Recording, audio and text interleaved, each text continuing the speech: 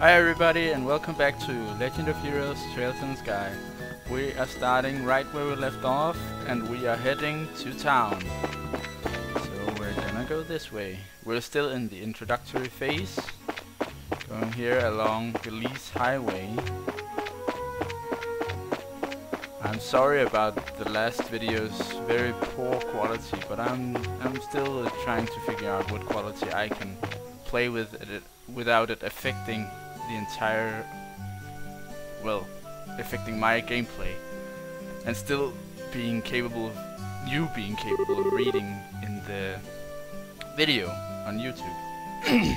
Alright, here we are. It looks like we made good time. Not too early or too late either. We just barely graduated from Sunday school. I never dreamed we'd have to study so hard to become bracers. Well, you're in luck. Today is our last day of training. Truth be told, though, you're the one who signed up to be a bracer in the first place. So I don't know why you'd expect to get away with any less effort. Oh, yeah. I guess I did. Alright then. Let's get to it and make it through this last hazing from Shera. You look ready to me. Let's go meet with Shera at the Bracer, Bracer Guild. Over there, then. Alright, we're just gonna go straight and do all the intro stuff for this episode. Aina. There you two are. Good morning, Estelle. Good morning, Joshua. Morning, Aina. Good morning. Is Shera here already? Yes, she's waiting for you upstairs. Once you finish today's training, you'll finally be recognized as members of the Bracer Guild. Good luck to the both. Thanks. We'll do our best. Alright, let's go up and talk to our teacher. Or trainer, or whatever. Scherazard. The star and the hanged man. The hermit and the magician. And last of all, inversion through the wheel of fortune. Hmm, this is a difficult combination. How should I interpret this? Good morning, Shera.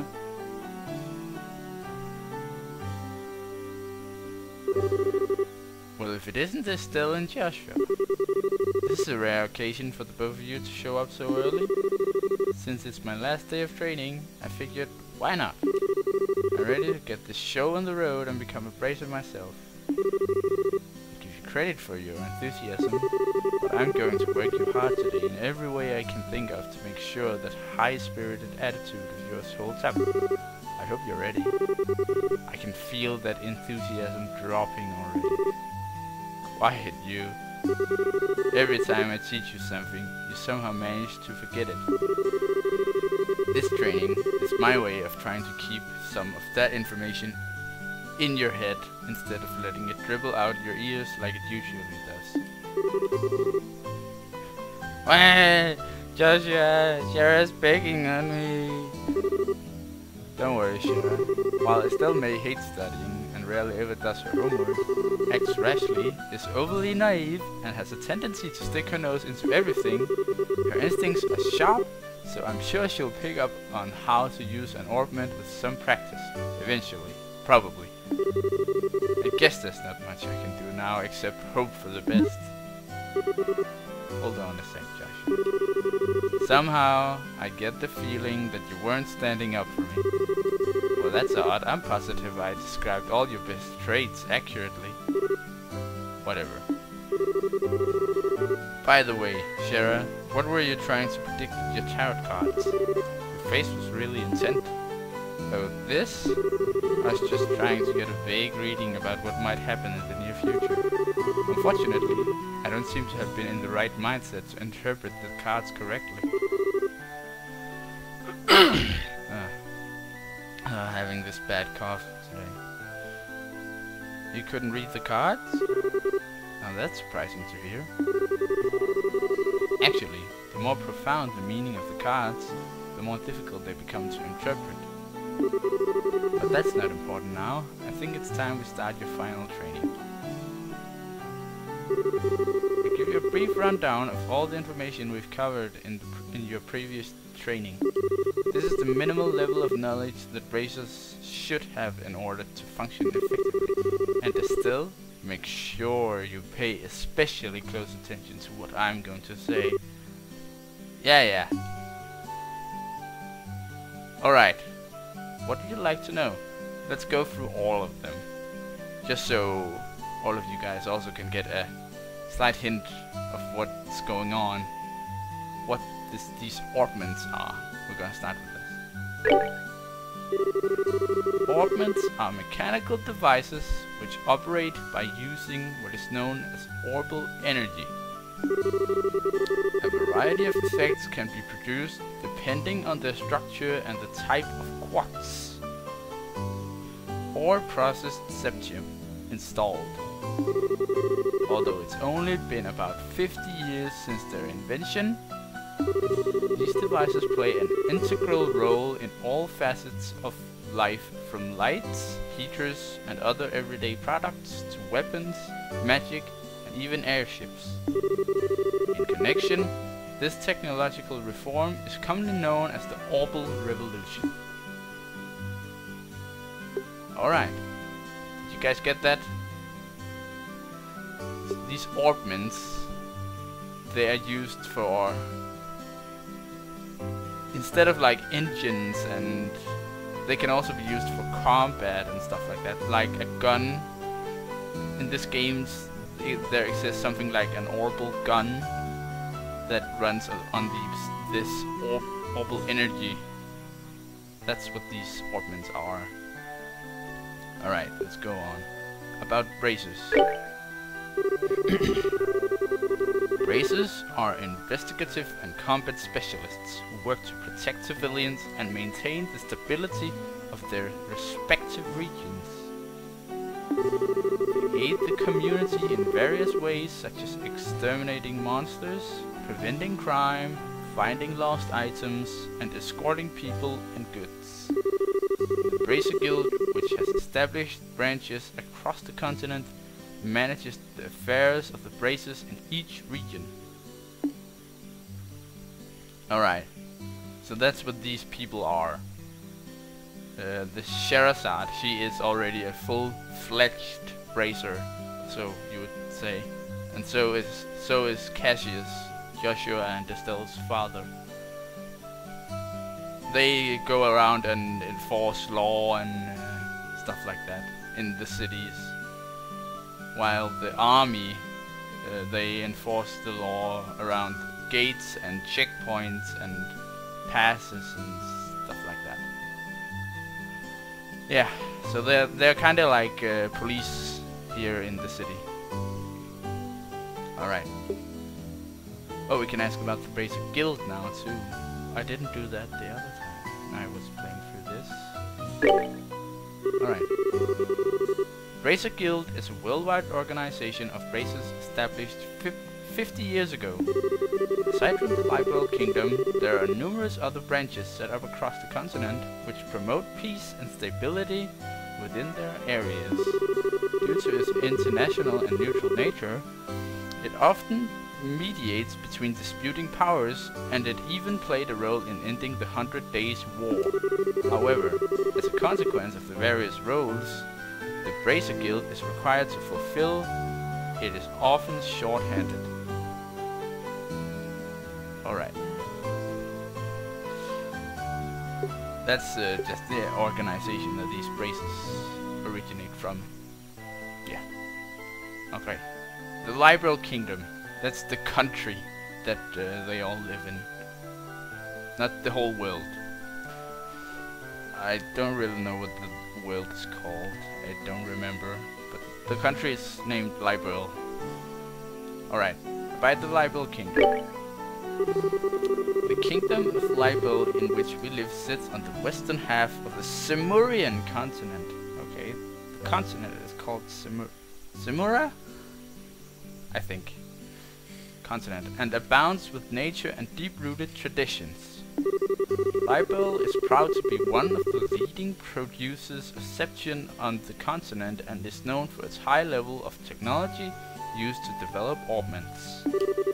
Orbment technology has also been a key pillar of support for Liberl in protecting its independence as it has content contended, contended with neighboring nations.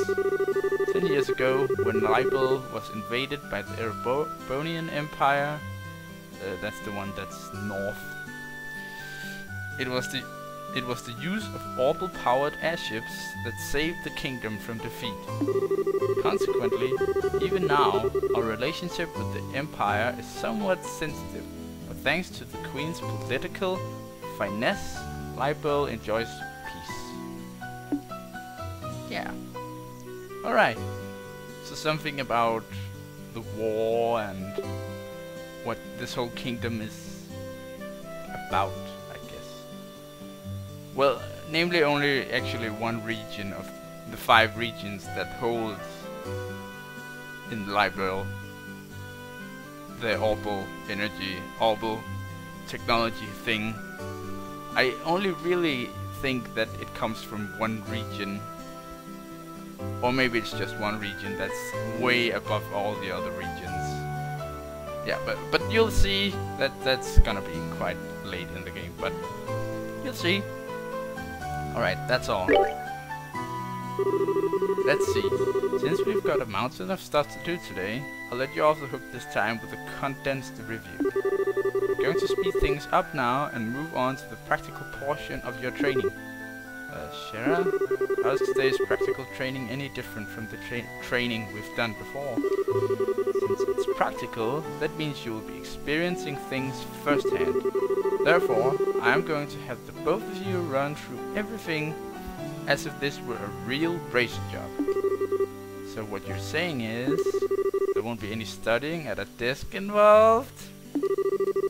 Yes, that's exactly what I'm saying.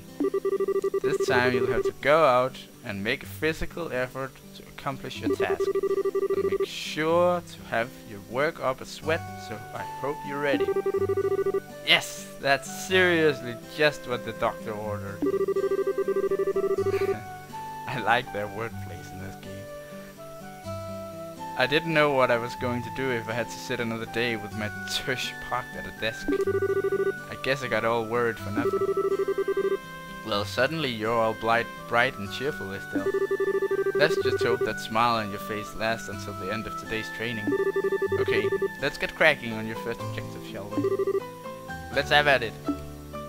Your first objective will be to confirm the details of the job you will be performing. Before that, there's something that we need to give the both. Aina, are they ready? Yes, they are. Alright, you two. Go get one for each of yourselves. Alright, so yeah, I think we're going to register ourselves in this Bracer Guild branch here in the Rolent region. These are very important, so make sure not to lose them. Oh, oh, oh, oh, oh. It's the notebook and badges uh, for being bracer, bra bracers. Bracer notebooks serve as the official way to record the status of your current jobs. Also, anything you may hear or anything that you may find and wear. These kinds of trivial, th trivial things can often become clues. No matter how insignificant something may seem, always write it down. Understood. Crap, sounds like it's going to be a pain. Yeah. But she's gonna do it anyway. Oh? Please tell me it was my ears playing tricks on me, because I swear I only got one response. Uh, I'm sure they were too. Keeping an accurate account of events is an important duty for all bracers. So get with the program and stop trying to make this out to be more than it really is, Estelle. Okay, okay, I got it. Make sure you do. Alright then, let's begin. Look over by the door. You can see that there's a bulletin board standing there. These two things, First, I want you to go and check the job description posted there. When the bulletin board is approached, a exclamation mark will appear. appear. Pressing the OK button will display the job list. By selecting job names on the list, you can view their details. Right, so I'm gonna go over here, and then the exclamation mark appears, the interaction mark. Click. Training, retrieval, new quest. we're gonna accept it. Training retrieval. Client Scherazard, our teacher. Pay 500 Mira. Details direct request. Alright. This training will involve searching the sewers beneath Rolent and bringing back the contents of a chest. See Scherazard for details. Alright, we accepted it.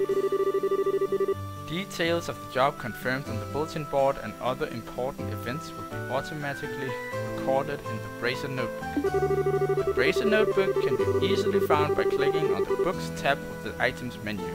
It can also be accessed by configuring a Bracer Book shortcut button on the configuration menu. Alright, very good. It looks like you were able to see what was posted without any trouble. Checking the bulletin board is one of the most basic functions as Bracer performs in their job. Checking regularly to see whether or not there are any urgent tasks which need immediate attention is also an important duty for bracers. Man, all this talk about duty is starting to cramp my style. sure, there are a lot of rules to follow, but there's an equal level of responsibility in the jobs themselves. I think being a bracer calls for much more than just someone with a half-hearted attitude. I guess you're right. I just have to be more motivated. Mm -hmm. Had a change of heart, have you? You betcha. Well, before all that motivation sneaks off somewhere, let's get to work on your next task. What will we be doing next time? We'll be heading across the street to Mr. Melder's Orbital Factory and learning about how to use its services. So now we're going into more detail about these orbments or quartz. Has graciously taken time out of his work schedule to explain things, so make sure to be on your best behavior. Okay. Alright, here we are. Not in crossing ourselves. We're just being handheld. Well, okay. Here is where you will learn how to use an Orbital Factory services. At an Orbital Factory, you can modify your orbments and synthesize, support quartz, in order to use orbital arts. Arts have a wide range of effects and if mastered can be extremely helpful. The bracer business is a pretty risky occupation, so the guild has had a long-standing relationship with these orbital factories. Anyway, this is about as much as I can explain. I'll leave the technical details to the expert. So, Mr. Melders, if you wouldn't mind taking over from here. No problem, leave everything to me. So what is it that you would like to know about? Alright, let's just start from the beginning. Orbments. Orbments are mechanical devices which exhibit an array of effects through the installation of various types of quartz. By definition, that means that lights, airship, engines, and so on also types of orbments. However, the ones we will be discussing today are battle orbments, which enhance the user's physical abilities and make it possible to use magic. Since each orbment is adjusted to match the owner's personal aptitude, the structures for these devices also differ for each owner. Simply put, the shape of the fixed elemental slots and lines which connect them vary at any rate vary. At any rate, that's the layman's explanation. In order to install quartz, you must have, first have an open slot. By default, the central slot is open, but the other slots must be opened at an orbital factory, like this. Like this one. It'll take a fair amount of Sepith too.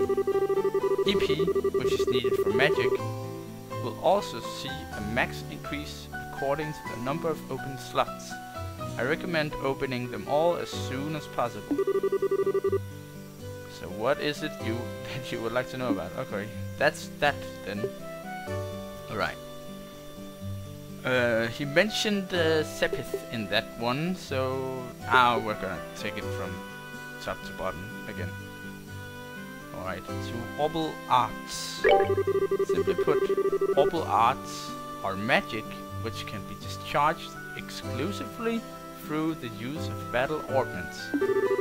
In other words, a number of peculiar effects can be produced by using the orbal energy stored within these mechanical devices. Since Orbal arts can be a mouthful, they are almost universally referred to as arts. Probably ought to have been called that from the get-go. There are several types of arts, but in order to be able to use them, the corresponding quartz must be first be synthesized at an orbal factory. Orbments are also set up so that once a particular quartz is installed into a slot, the owner will be able to use those arts. The type of arts the one can use also changes depending on the elemental value and the combination of installed quartz. Basically, if you want to use water arts, all you have to do is install quartz with a water elemental value. In reality, orbments are much more complex than what I have described, but I think this information should suffice for now. So what is it that you would like to? Alright. So, these orbal arts, they're like magic. They are basically magic. Like, there are offensive arts, and there are defensive arts, and there are supportish arts.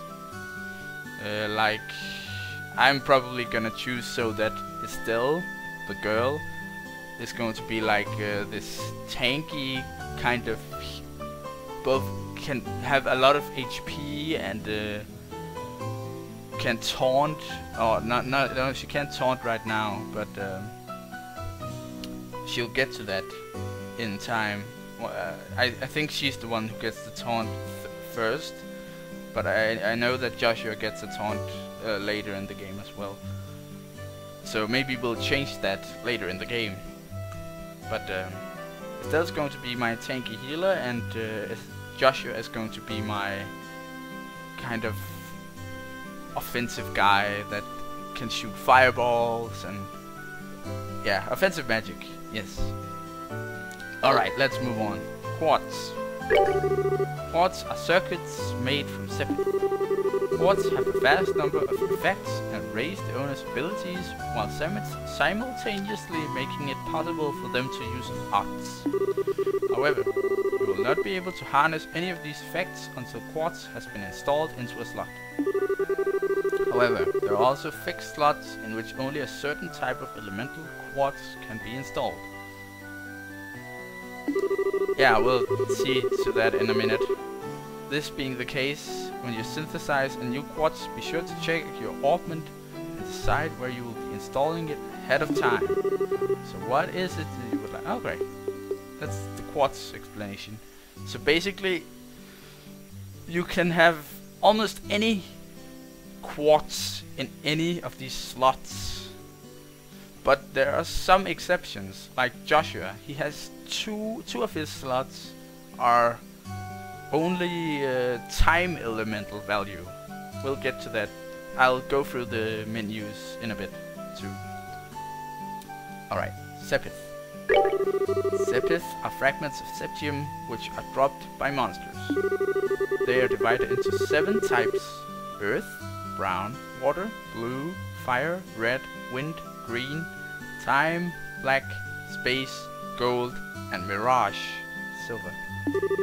Sepith can be exchanged for Mira almost anywhere, but at the orbal factory it can be used to synthesize quartz and to open orbment slots in which to install the synthesized quartz. So what is it you would like to know? Okay, that's all of it. Um, when we get to the sewer part, I think is the first time that we'll be able to move freely. So we can check all the menus after we've gotten the introductory, uh, the introduction from the game itself. So then uh, maybe after that I can explain further. Alright, let's go on. Looks like Mr. Melders has answered all your questions. If there's nothing else, then let's have you both try and use the services here. Maybe it's now. For that you're going to need some sepith. Received several of each type of elemental. With that amount, you two should be able to synthesize a few quartz. Now, I want you to begin my first by first making an elemental quartz that will work with each of your particular orbments. In your case Estelle, any elemental quartz is okay, but for you Joshua, it has to be time elemental quartz. Normally, at a shop you would be able to exchange Sepith for Mira, but for this training you'll not be able to use the service. Upon approaching the counter, a talk mark will appear. Pressing the OK button will display a list of options, select modify or trade to use the Orbital Factory services. Is that from this guy? Oh, good work. If you need to use the Orbital Factory, give Freddy a holler over there. Okay, okay. We're gonna go over here to Freddy. Um, modify trade. Alright. So we got 20 of every sepith. Let's look at the slots. Here we have Estelle there's these slots all over the place. So you will notice that this one in the middle, the main slot, that's already open and that it will be like that for every character. Some characters will also have two, maybe three, maybe all of the slots open at the start when you get them. um, but uh, here for Estelle and Joshua, only the first slot will be open. And uh, it also says next to the already open and openable and not openable, what kind of quartz will be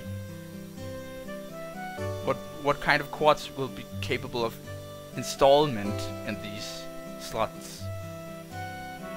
But um, here, she has all of her slots can manage all types of quartz. So we can we can basically have one of each, like water, fire, wind, earth, time, and so so on. All right. Let's move on to Joshua here. Here Joshua is a little different because three, I think three, yeah. Oh no. No, four four of his slots have these white uh, borders around them, which means that the, all quartz are alright to be used in these slots. But these two, his main slot and this one up here, has these black borders, which means that only the black kind of sep kind of sepith, the time one, can be used in this kind of slot. So let's try and install some quartz. We're going to buy some here. As for Joshua, we will have to buy this one, because it's the only one that can be inserted into his, his slot. So we're gonna buy action 1 for Joshua. And then, as I said, I was going to make Estelle this tanky kind of character, so we're going to increase her health by buying this water quartz. So now you can see over at the Sepith cost bar that we've bought a water quartz for 20 Sepith, 20 water Sepith, and a time quartz for 20 time Sepith. Alright, let's insert them. Uh, we can't do that right now. I'll have to use the menu to do that. Uh, I'm just gonna do this quick because I don't want to explain it yet. Here we're gonna insert that there. This will be kind of confusing for some people, but we'll get there. We'll get there. Alright, hi there. Looks like you two are doing well in your training. If you'd like to modify your orbits, please select the modify traits service. Alright. Oh, so you finished installing your have you? Since you both oh, recovery and attack art set up, appears that you don't need any more instruction from me about how to do this task. If you balance your arts out between each other like you've done here, it should make dealing with monsters much easier. Additionally, your bracer notebooks contain information about which quartz allow you to use which arts. Oh my god. I'm burping like hell. If you'd like to use more powerful arts, check out the arts and quartz charts in your bracer notebooks and find something that works for you. Alright, our training here is almost finished. Last of all, I'm going to have one of you open a new slot in your orbments. The more slots you have available to you, the broader range of choices you'll have. Since EP, which is consumed by using arts, can have its max value increased by opening up slots, it would be a good idea to open them all early on. Now I want you to use the Sepith and open a slot on each of your orbments. Go ahead and decide which slots you're going to open. Alright, so we're going to open some slots now. Going back into this, and then we're going to, let's see, we have we have 30 of each of the elemental value slots. So we're going to open a slot for Joshua. I think. Yeah. We're going to open this outer slot over here. Open slot 6 for Joshua. Alright, and then we're also... I can't buy any more quartz. That's pretty bullshit. I wanted to buy another one. Well, alright. I guess we're done here. Good work on opening up slot, Joshua. Since your central slot is limited to a certain elemental, it would be best to increase your orbment's number of open slots early on. Right. This concludes your training here at the Orbal Factory. Now it's time to move on to what you've both been waiting for, the qualification test. Pardon? Did, did you just say test? You can't honestly tell me that you forgot about the test again, can you? Didn't I remind you just this morning? Yeah, you did.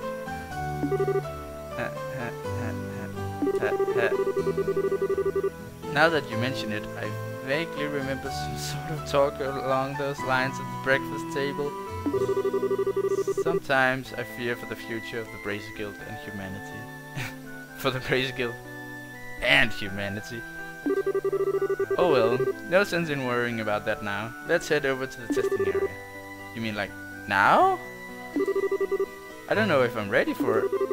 How about a little less yapping and a little more walking?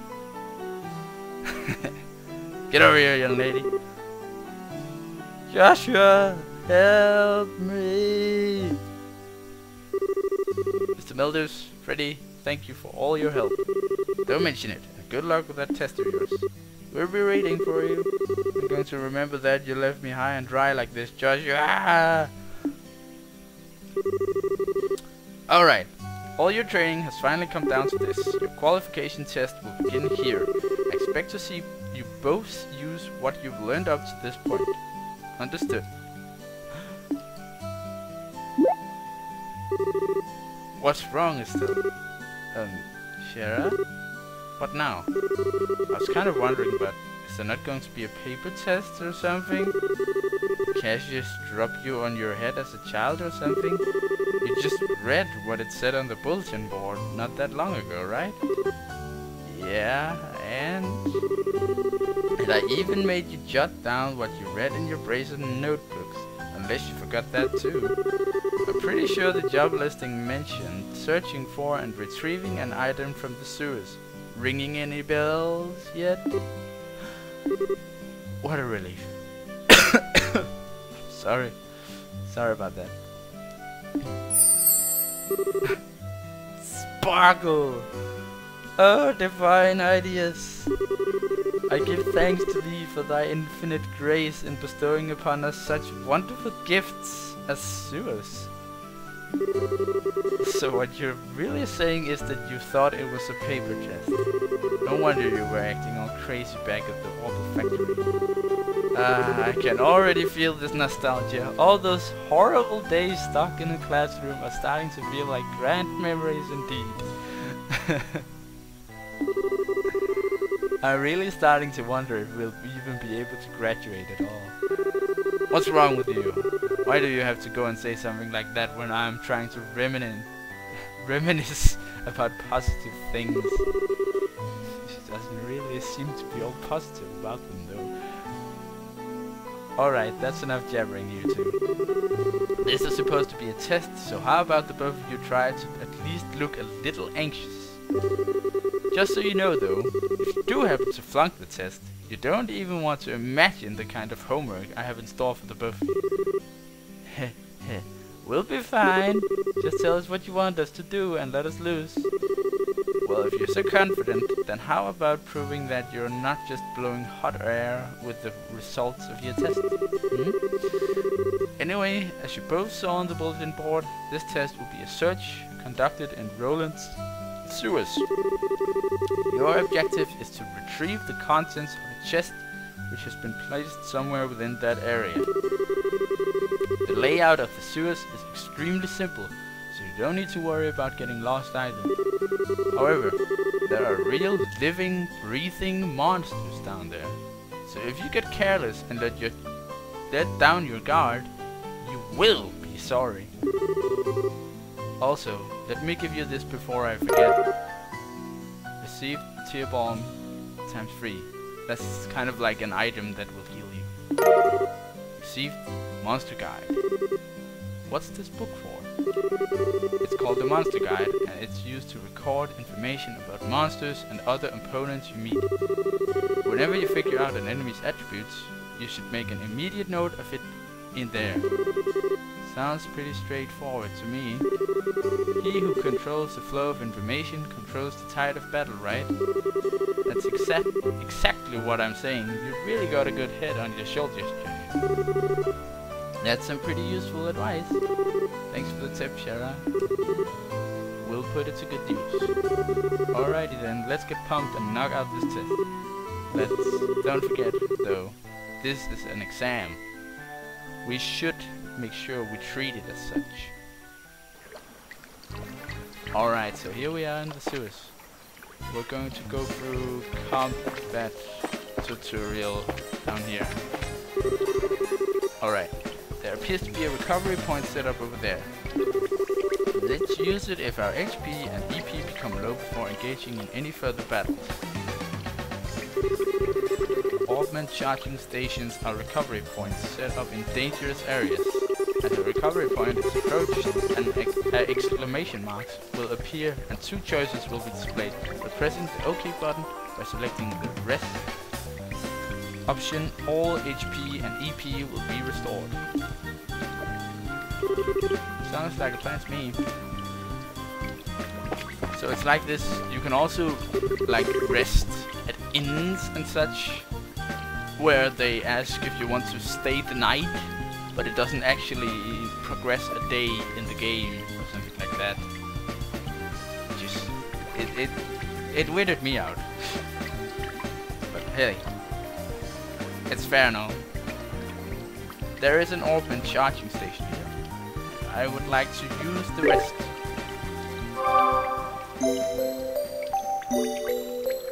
Alright, I think I'm gonna... Before I engage in any combat, I'm gonna leave this episode here. So... Yeah, before we go into combat, we're gonna leave it here. Gonna go over, save. Um, I think we're gonna leave that one so we have more saves. We have the Rolent Sewers, still level 3, I Father's Love, A New Beginning, Prologue, Rolent Sewers. Alright. So, that's it for this episode.